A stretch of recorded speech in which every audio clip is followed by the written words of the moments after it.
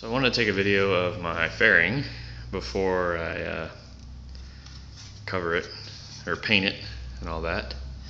This is made out of fiberglass and it's about 60 thousandths thick. Alright, won't focus.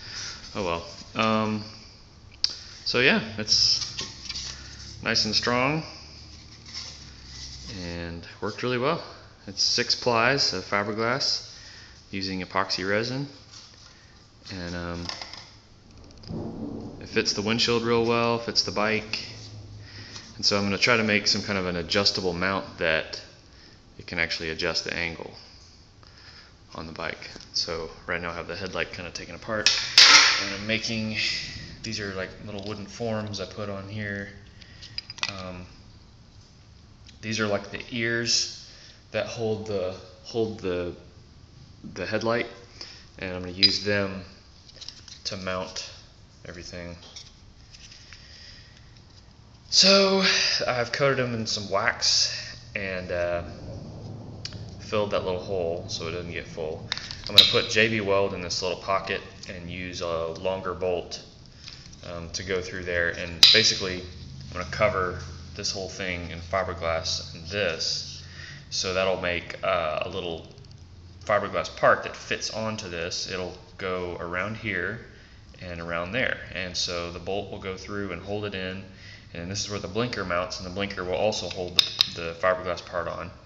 And then up here, there'll be a little hole or a bearing or bushing thing for my uh, windshield mount.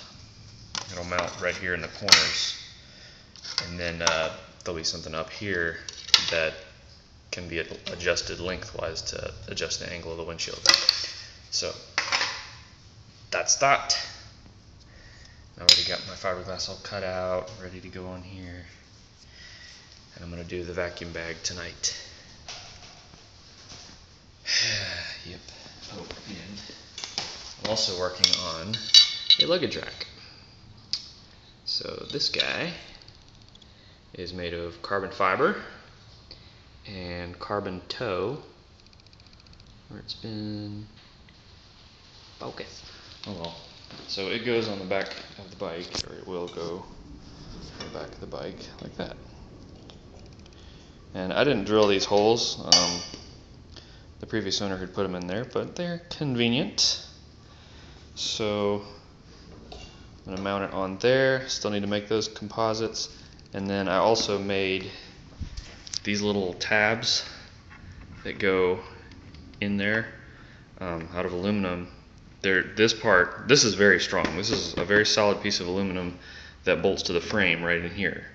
Um, so that's that's pretty strong, and it's got a tab that goes into this thing. These are all big, thick pieces of aluminum, and so this thing wraps around that tab. It's a it's captive.